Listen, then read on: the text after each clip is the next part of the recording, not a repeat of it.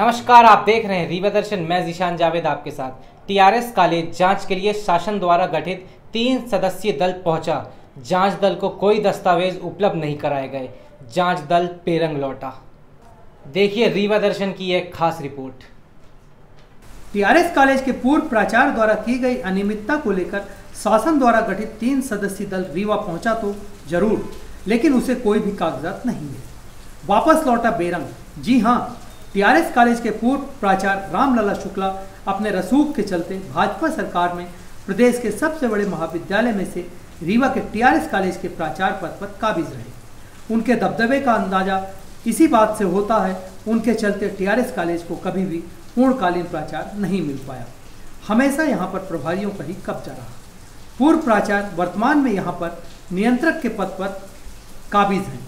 भाजपा सरकार के जाते उनके दिन खराब हो गए। कॉलेज के छात्र ने उनके खिलाफ एस सी एस रीवा के सिविल लाइन थाने में मुकदमा दर्ज कराया। तभी से पूर्व प्रभारी प्राचार्य रामलला शुक्ला छुट्टियाँ बिताने कहीं चले गए हैं। पूर्व प्रभारी प्राचार्य के कार्यकाल के दौरान करोड़ों रुपए के कामकाज कॉलेज में हुए। पचास के ऊपर भर्तियाँ हुई। आइए बात करते हैं विनोद शर्मा से।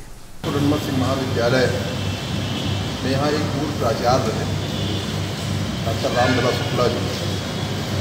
उनके संबंध में हमने लगभग 2016 में, पाँच जनवरी 2016 को एक शिकायत पत्र तब के उच्च शिक्षा मंत्री, प्रिंसिपल सेक्रेटरी, माननीय मुख्यमंत्री जी को एक पत्र दिया था जिलों के साथ।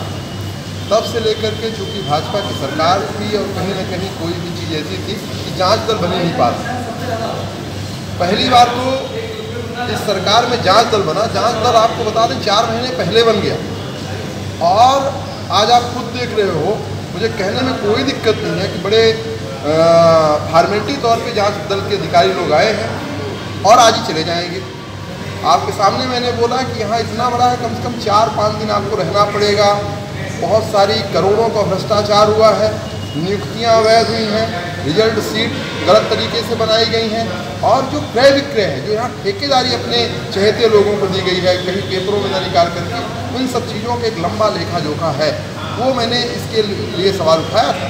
अब मुझे पूरा भरोसा है कि जाँच अच्छे से होगी और नहीं तो जो जाँच अधिकारी हैं, उनकी भी जाँच हो जाएगी। देखिए, अभी तो आज वो आए हैं, खाना पूर्ति करके जाने वाले थे। मुझे पता चला, मुझे उन्होंने बताया तक नहीं। मुझे कहीं से पता चला अपने सूत्रों के द्वारा।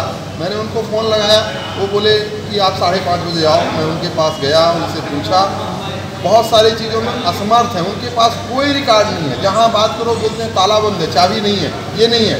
तो मैंने उनको बोला कि आप प्रशासन की मदद लो एसपी और कलेक्टर को सूचित करो उच्च शिक्षा मंत्री जी को बताओ माननीय मुख्यमंत्री जी को बताओ। और यदि कोई कमी रह जाए इससे भी बड़ी जाँच हो सकती है। उस जाँच को अपन बैठाएँगे पर पहले ये मना तो करें कि हम नहीं कर पा रहे क्योंकि ये करोड़ों का भ्रष्टाचार इस कॉलेज में हुआ है, ये हमारे रीवा की माटी का अस्मिता का सवाल है। ये पूरे बिंद का एक माना जाना कॉलेज है।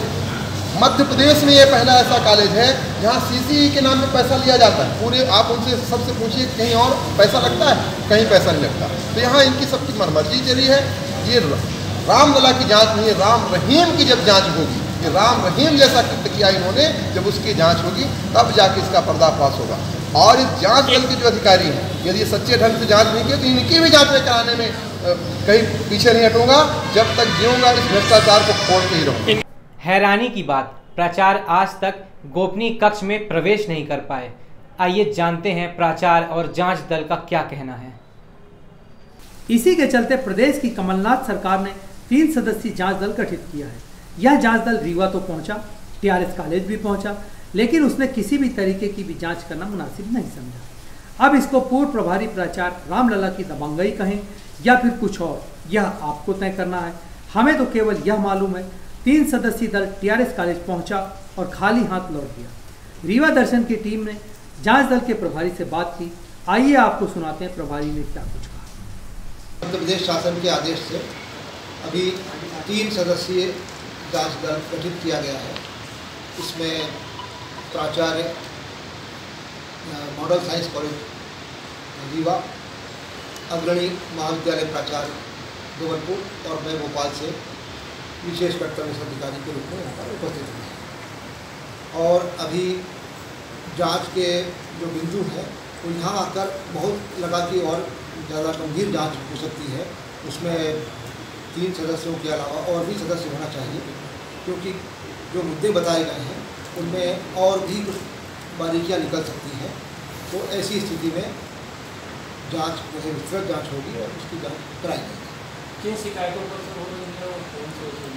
इसमें जो मामले आए हैं परीक्षाओं में गड़बड़ी के हैं कुछ क्रय विक्रय की गड़बड़ियों के हैं और नियुक्ति। के संबंध में कुछ बातें आई हैं जो कि शिकायत में लिखी हुई है। कब से कब तक है? ये अ, यहाँ पर पूर्व प्रभारी प्राचार्य जो यहाँ पर रहे हैं डॉक्टर रामलला शुक्ला जी उनके विषय में यह शिकायत प्राप्त हुई है।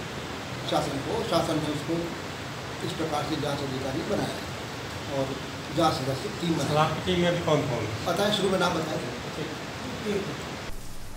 भोपाल से आए जाँच दल के प्रभारी को अभी आपने सुना उन्होंने माना भी अनियमितताएँ हैं लेकिन इसकी जाँच बड़े पैमाने पर करनी पड़ेगी। इसके लिए वह और भी कई सदस्यों की टीम लेकर शीघ्र ही रीवा आएँगे और जाँच करेंगे। वहीं कॉलेज के वर्तमान प्राचार्य ने भी माना है शासन द्वारा गठित जाँच दल आया हुआ है। वह जो भी कागज़ मांगेगा हम उसे उपलब्ध कराएँगे। जाँच के वास्तविक बिंदु तो मुझे बात है लेकिन ये बताया गया है कि पूर्व प्राचार्य डॉक्टर आर एन शुक्ला के संबंध में कुछ शिकायतें प्राप्त हुई हैं दो तीन लोगों के द्वारा। तो उन्हीं शिकायतों के संबंध में जाँच करने के लिए जाँच टीम आई। आपको किस तरह से सहयोग मिला है और क्या दस्तावेज़ आपको सपोर्ट किए गए जो और कौन सा वो कक्ष है जिसकी बात की जा रही है कि आपको नहीं जाने दी गया? गया यहाँ अभी जो भी दस्तावेज़ लिखित रूप में मांगे जाएँगे जो हमारे पास उपलब्ध होगा उसको हम देंगे। और जो चीज़ें उपलब्ध नहीं होंगी जो पूर्व प्राचार्य के पास थी क्योंकि वो अवकाश पर हैं वो उनके अवकाश समाप्त होने पर ही प्राप्त हो पाएगी। दोनों लिस्ट देखेंगे लिस्ट आप रखेंगे एक कागज़ और लिखिएगा मैं बताऊँगा किस नेता का कौन व्यक्ति है किसकी वाइफ है किसकी कौन है किसकी कौन है किसकी कौन है। कितने परिवार के लोग हैं? और कितने परिवार के मैं दावे के साथ कह रहा हूँ प्रूफ दे दूँगा कम से कम चालीस से ज़्यादा लोग उसके सगे परिवार चालीस से ज़्यादा। आप देखो आपने बोला मैं एग्री कॉलेज की प्रिंसिपल हूँ कि आपने बोला मेरे यहाँ दो टीम है। आप देखो। एक ही मैंने बैठे बैठे भ्रष्टाचार करते हैं। बैठे बैठ। के मेरी बात को आप समझ समझ गया बिल्कुल? मैंने बहुत गंभीर बात। यह है रसूख पूर्व प्रभारी प्रचार रामलला का। जितना दबदबा भाजपा शासन में था उससे कहीं ज़्यादा साबित हो रहा कांग्रेस के जमाने में। एक बार फिर जाँच दल खाली हाथ लौटा। शिकायतकर्ता कांग्रेस के पार्षद विनोद शुक्ला मानते हैं घोटाला बहुत बड़ा है। बड़े पैमाने पर किया गया है। इसकी जाँच के लिए भोपाल तक के फेरे लगा चुके हैं।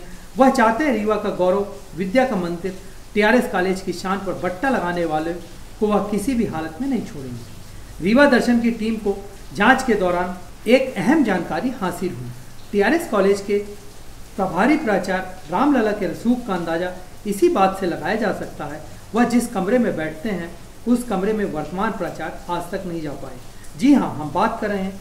टीआरएस कॉलेज में परीक्षा विभाग के अंदर बने गोपनीय कक्ष की। इस कक्ष के अंदर वर्तमान प्राचार्य आज तक नहीं जा पाए। यहाँ पर हम आपको बता दें, आपके लिए यह बेहद जान लेना ज़रूरी भी है। वर्तमान प्राचार्य आज से पाँच साल पूर्व भी इसी कॉलेज के प्राचार्य पद पर रह चुके हैं। आप अंदाज़ा लगाइए, वह तब भी गोपनीय कक्ष में नहीं जा पाए और आज भी नहीं जा पाए।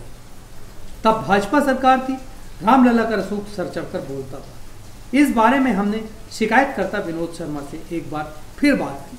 क्या? तो इससे बड़ा दुर्भाग्य क्या होगा? आपके सामने यहाँ का प्राचार बता रहे हैं कि गोपनीय कक्ष है यहाँ।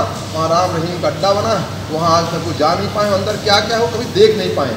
इससे बड़ा क्या दुर, माने दुर्भाग्य होगा कि एक प्राचार्य अपने सभी कक्षों में जा ही नहीं पाया। प्राचार के पास चाबी नहीं है। मैं ये कहता हूँ कि जब संस्था से कोई भी व्यक्ति बाहर जाता है उसकी सभी कमरों की चाबी कहीं एक जगह कर उसका एक लाकर होता है उस लाकर में आप रखो प्रिंसिपल रूम में रखो। क्या आप आप इस कॉलेज के एम्प्लाई हो? ये नहीं हो कि आप उसका आपका घर थोड़ी है कि आप इसकी चाबी लेके बाहर चले जाओ। जाँच टीम से आप मांग करेंगे कि तोड़े ताला उसका। मैं तो अभी आपके सामने बोला कि उनका ताला तोड़े पर वो ये बोल रहे हैं कि अगली बार आऊँगा। मैंने उनको बोला बहुत जल्द आना। तो बहुत जल्दी जो नहीं आए तो उनके ऊपर भी जाँच बैठा दूँगा। अध्यक्ष पद पर भी है दो दो, जगह पद पर पैसे ले रहे हैं। हैं उनके बेटे का मामला आया है वो जनपद के अध्यक्ष हैं और मॉडल साइंस कॉलेज में अ, अति विद्वान। उनको तो अपने आप ये चीज़ होनी चाहिए कि एक वहाँ भी हैं और यहाँ भी हैं कैसे हैं और भाजपा सरकार ने उनकी नियुक्तियाँ कैसे कर दी? अब सर, अपनी सरकार में मैंने पत्र लिखा है मांग किया है कि कितने दुर्भाग्य की बात है। एक प्राचार्य अपने कॉलेज के अंदर सभी कमरों में नहीं जा सकता। इसके लिए उसने लाख प्रयास भी किए लेकिन रसूखदारों का आगे उनकी एक में चली आप खुद सुनिए प्राचार्य इस बारे में क्या कह रहे हैं। अ, गोपनीय कक्ष में जाने वाली बात है। तो मैंने कभी प्रयास भी नहीं किया वहाँ अंदर जाने के लिए क्योंकि ये बताया गया कि वहाँ जब वो जाते तो अपना गोपनीय कार्य करते रहते किसी को वहाँ नहीं देते। तो मैंने कभी प्रयास नहीं किया कि मैं वहाँ पर जाऊँ।